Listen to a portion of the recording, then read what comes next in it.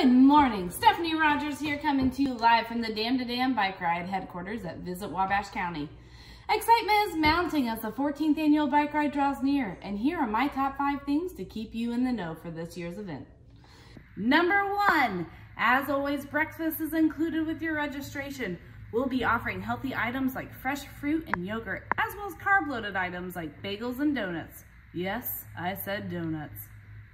Number two, no matter if you're riding the 15 mile route or the 150 mile route, there are oodles of support stops along the way to keep you rocking and rolling.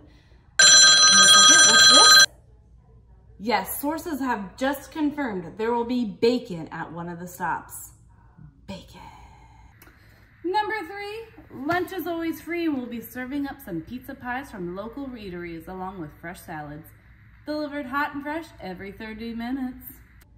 Number four, what's the icing on the cake? Complimentary showers at the YMCA. And finish up that ride with gourmet cupcakes provided by Sifted Cupcakes and Bakery. Number five, a free commemorative event t-shirt. Register by August 11th for your sweet shirt today. So grab life by the handlebars and get pumped for this year's Dam to Dam, powered by Engard and presented by Visit Wabash County. This has been Stephanie Rogers. I'll be seeing you soon.